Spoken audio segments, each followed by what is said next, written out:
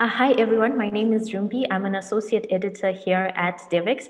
And today I'm joined for, by two people for a very interesting conversation. We have uh, Professor Helen Fletcher, a professor of immunology at the London School of Hygiene and Tropical Medicine, as well as Dr. Jerome Kim, Director General for the International Vaccine Institute. Um, thank you so much for joining me. Thank you. Okay, so today we're here to talk about mRNA technology. That's messenger RNA technology. And this technology has been described as a game changer. So why, why does it have so much potential? And can you tell us a little bit more about it? I think I'll start with you, Helen. Um, yeah, sure. Thank you. Um, well, I work in vaccine development and I teach vaccine immunology.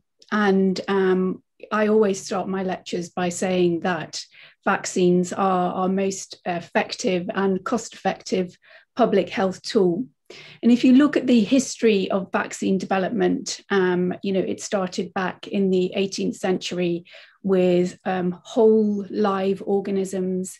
Um, and then we attenuated or heat killed those organisms.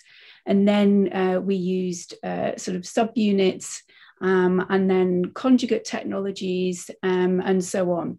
And what we see is that each time there is a new platform technology, we see a wave of vaccine development. And the exciting thing about the mRNA technology is that it's a new platform technology for vaccines.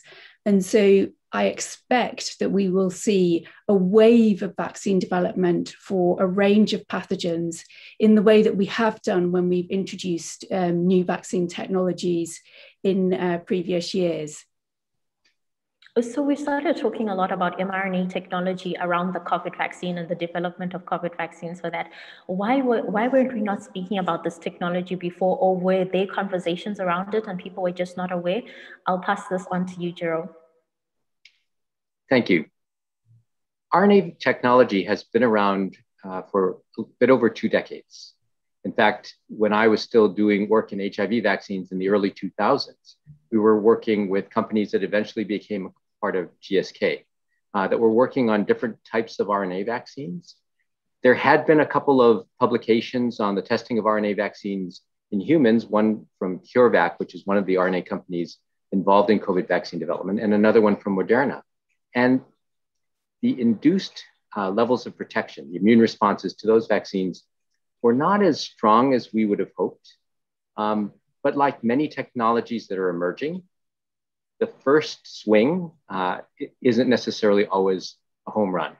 That's, I guess, an American baseball term, but it, isn't always a, a smashing success.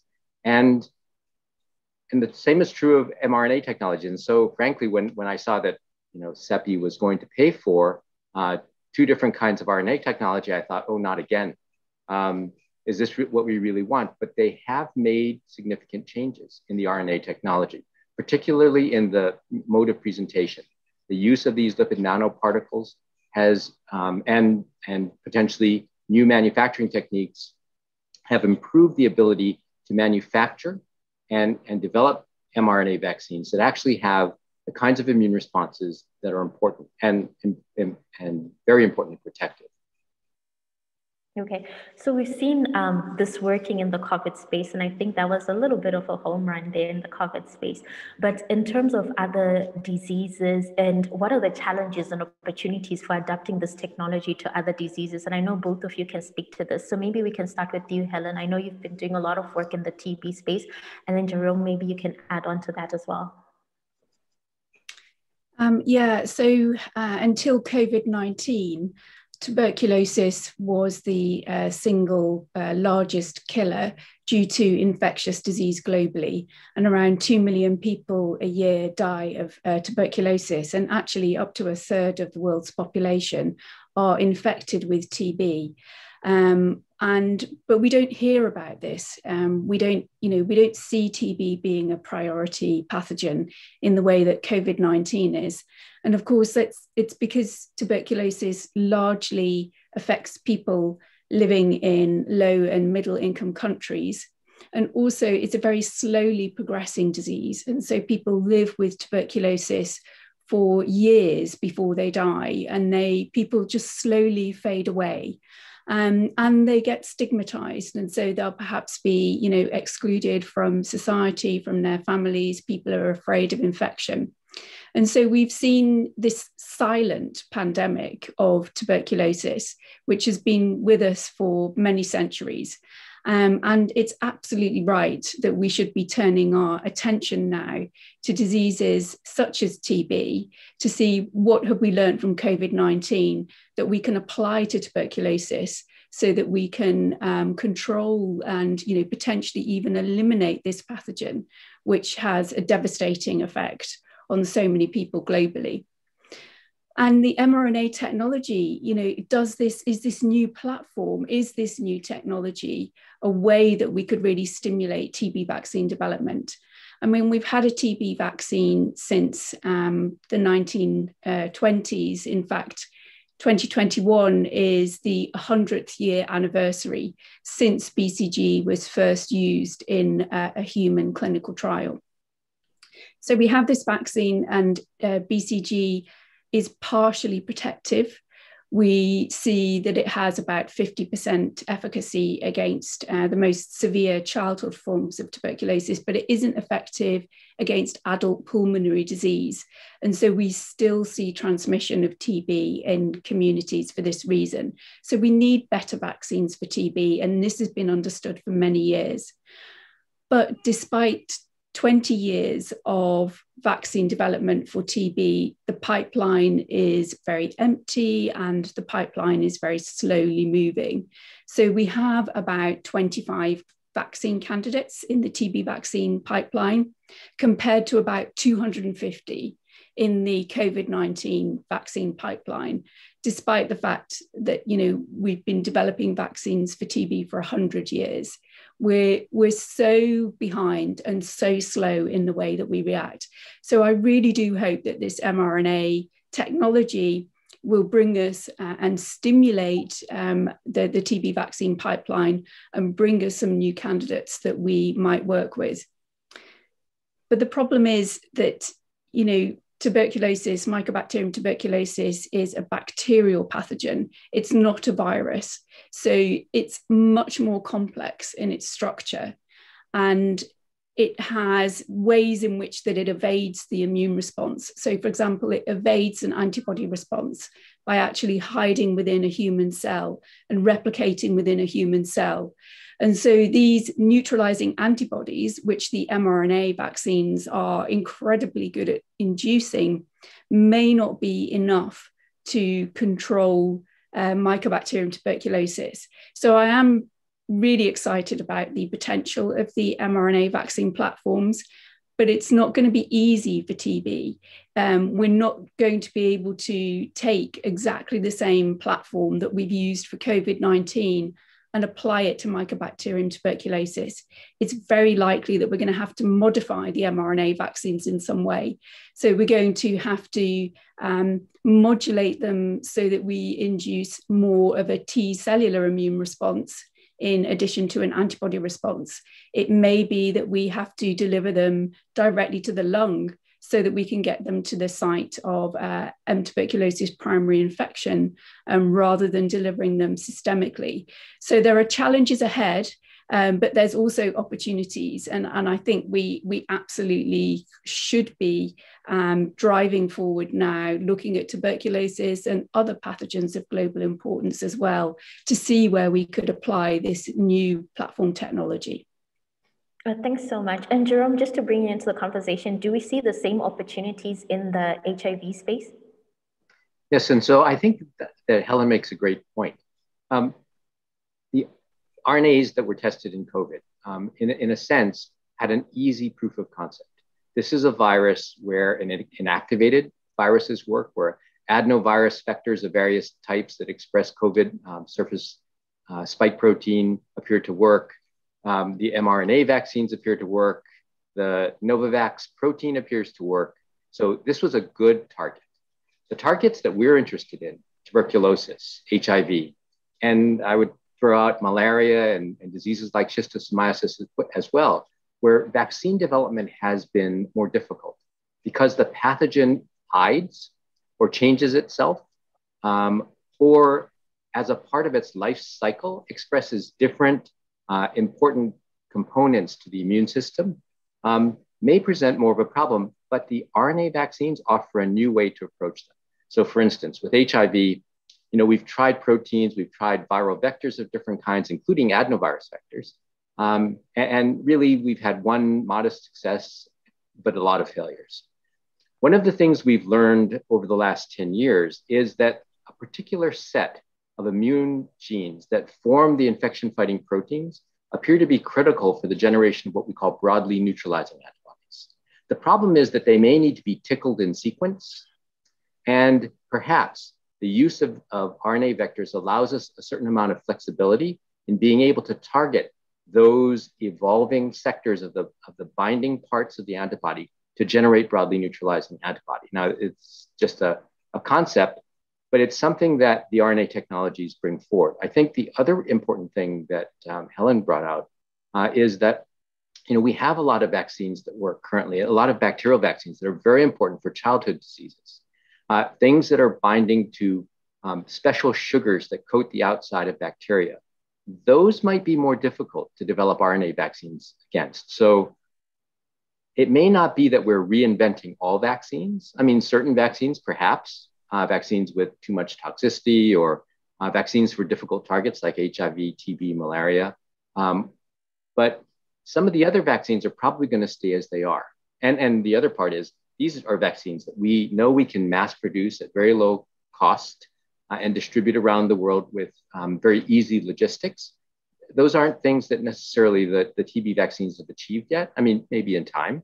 Um, but, but there are going to be other vaccines out there that we probably won't replace right away. So one of the questions I was going to ask both of you was, uh, with the COVID-19 vaccine, we saw these vaccines being developed at record speed. And are we going to see the same speed applied to the development of vaccines, maybe in the TB space or the HIV space? But what I'm hearing is that it's not that simple. Am I correct, Helen? Yeah, that's right. It's not. It's not that simple. We're we're not uh, going to be able to take these technologies um, for the, all all the reasons that we we discussed. You know, these are, are complex pathogens that are remaining, um, which which need broad types of immune responses, um, and and the mRNA vaccines may well have a role, and it might be an important role, um, but perhaps a, a, you know a sort of multi-vaccine uh, platform. Um, you know, one one vaccine matched with another type of vaccine, for example. Um, but it's it's not going to be as simple as just taking it and using it.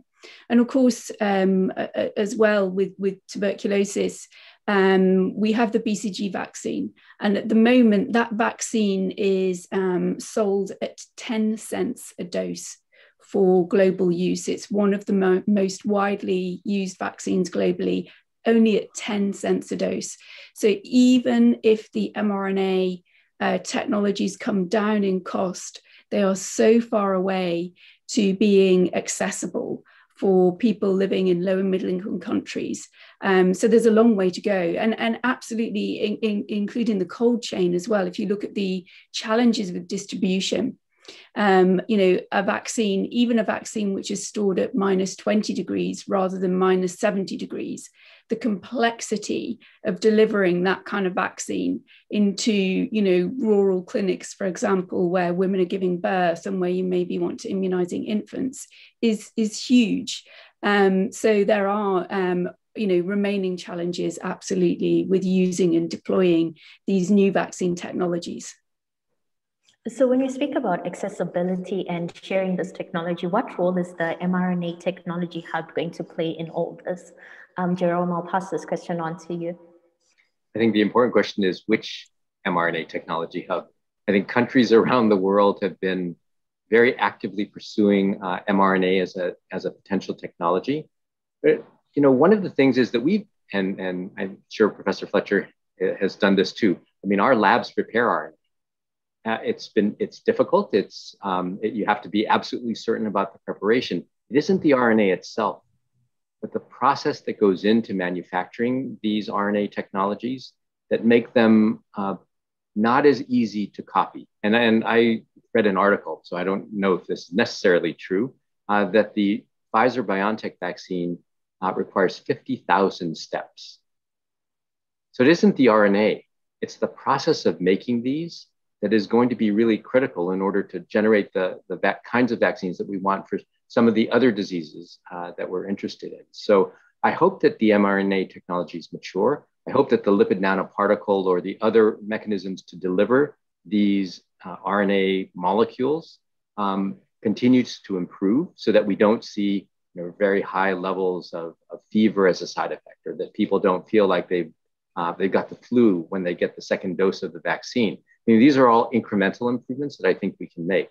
Um, I think it's important that countries around the world, um, universities and, and research centers um, continue to advance RNA technology. And you know, we have to be really thankful for the governments around the world that funded this research initially, um, because without it, the companies wouldn't have the technological base in which they built these, um, these very effective vaccines for COVID. So I think, yes, it's going to be important. Uh, it's important that, that this technology be disseminated, and it's important that we make improvements in it so that they become more accessible.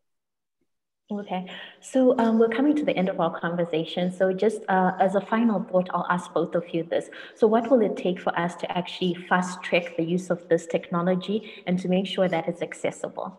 A double question there for you guys. I'll start with you, Helen. Um, I mean, I think that the uh, WHO initiative having the technology transfer hubs um, uh, is, is, a, is a great start. And so you're looking at uh, increasing manufacturing capacity for mRNA vaccines globally. Um, if you if you look below the surface of that, um, then they are looking for hubs which already have the ability, existing ability to manufacture on large scale. They are looking for products and vaccines which are already proven in clinical trials to be able to transfer to those hubs. And, and that is great. And it, it's a great start. Um, and uh, but there are so few there are going to be so few facilities which fulfill those criteria so few facilities in low and middle income countries which already have that capacity for large scale manufacturing although there are some um, and then you're going to and then you're waiting for those products and those vaccines to come along and for the intellectual property to be made available so that um, that manufacturing can happen. But you know, I mean, what we really need is first of all sustainability. So we need to be building those manufacturing sites, building that capacity in a sustainable way so that it's not just you know swooping in and uh, you know using facilities for manufacturing and then moving on when it's not needed you need those facilities to exist and to grow um, and for the capacity strengthening um, to, to, to be broadly distributed um, in, in many countries, um, not just single centres in each region. But you need investment for that. So you need money to support manufacturing.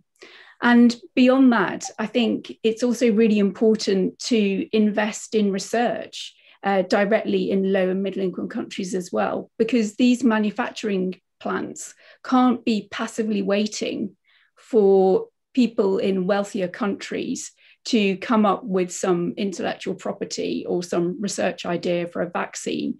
It should be countries themselves who are driving the research agendas making sure that the uh, research programs and the manufacturing is focused on pathogens of relevance to their own country and their own region and their own scientists who are um, you know actually building uh, these these vaccines and, and testing them and owning the intellectual property so that that can feed into these manufacturing plants um, as well. And i think I think, you know, it's a really great start to have distribution of vaccine technologies and manufacturing capacity, but it needs to be matched by the distribution of research and the academic strength as well.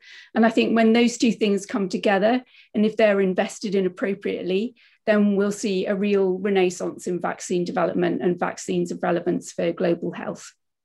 Uh, thank you so much, Helen. And we're just left with one minute, unfortunately. So, Jerome, any final thoughts on this?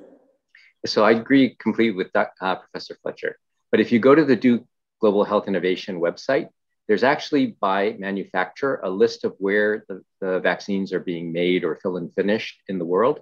And it's actually a very interesting website because when you look at the AstraZeneca vaccine, it is really manufactured and actually filled and finished all over the world. But when you look at the RNA vaccines, the number of sites where those vaccines are made is very restricted, primarily North America and Europe, and, and one site in China. And you know, that's going to change and it needs to change. As the technology matures, as countries and companies are, are able to open up. The, the only other thing that I'd add to what Professor Fletcher said is in the end, someone has to buy the vaccine. So not only do we have to have the model of funding the vaccine development, but in the end, no company is going to make a vaccine that people won't buy. And so if we have smaller regional manufacturers, someone has to commit to buy that vaccine at a, at a higher price than we would normally get if we went to the Serum Institute or to a you know, mass manufacturer in Korea that can churn out vaccine at, at a relatively low unit cost. So we're going to have to find, as, as Professor Fletcher said, a sustainable model for funding not only vaccine research, but the other end, which is the uptake of those vaccines and their use in global health. Oh, thank you so much. Thank you so much, both of you, for this fascinating conversation. And I know that our journalists will be following this, and um, I know that your institutions will also be following this. Um, thank you. Thank you.